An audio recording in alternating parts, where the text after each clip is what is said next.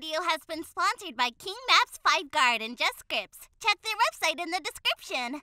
Hey guys, welcome back to another video. I hope you all are good. So today in this video, we are going to install an advanced HUD script for our FiveM servers and this script works with QBCore, QBX and ESX framework and it's completely free as well.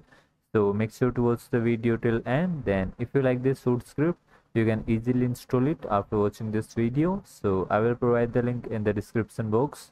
So right here we have our advanced HUD script from easy soap. And you have to scroll down and get it from the Tebex store. It's completely free right there as you can see. So we need to get it on our keymaster. Then we have to download this. After downloading we need to simply just open this HUD file and extract this to our resources right there. Then we need to rename okay leave it and open it. Go to its config.lua file. And right here you will get to show minimap every time or only in car. So you can easily select it from here. If you want the minimap only open when you are in vehicle for all the time so you can use every time. Then we have the option for each server name. So i'll just use mjdev server slogan is rp uh, you can change it as well then we have the stress system. If you don't want it you can easily disable it from here. Then we have the relaxing areas whitelisting joe whitelisting vehicles weapons and yep that's it.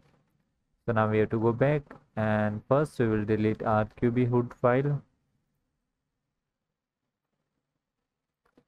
Then we will put this in our qb folder or you can simply just ensure it as well and after that we have to simply just restart our server once then we can get to see our new advanced suit from easy soap. Let's restart and join it back.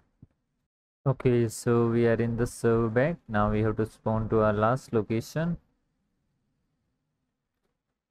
And as you can see right there we got this type of like the HUD where on the right side you will get to see your server name and a server logo as well that you can easily change then we have the id player name time date location bank balance cash.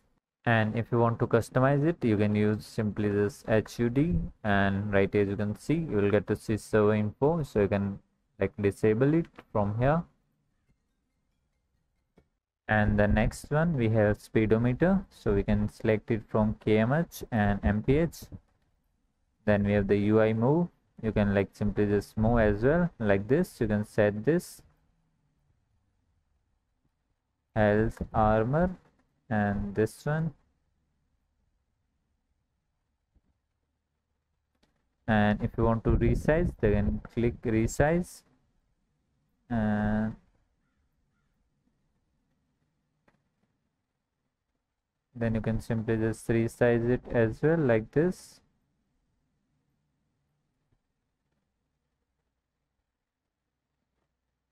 and you can put it wherever you wanna put.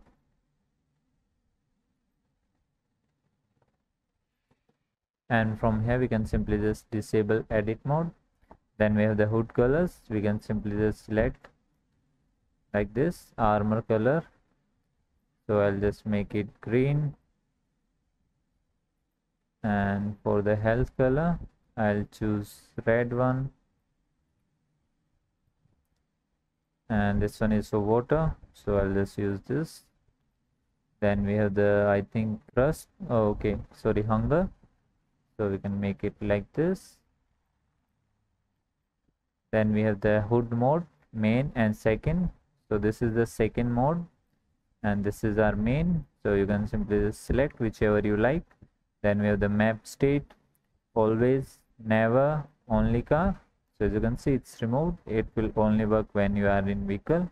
If you want always you can just enable it from here. And if you want to disable it completely then you can simply just select never and it will remove. So i'll just enable it for always and save. So as you can see our HUD is completely changed and we can simply just edit all of these things as well and on the right side logo for that we have to go back to our server files qb HUD files go to nui images. And as you can see right here you will get to see this logo file. So simply just change this with your logo and you are good to go. And let me just spawn a vehicle as well. And this is its speedometer as you can see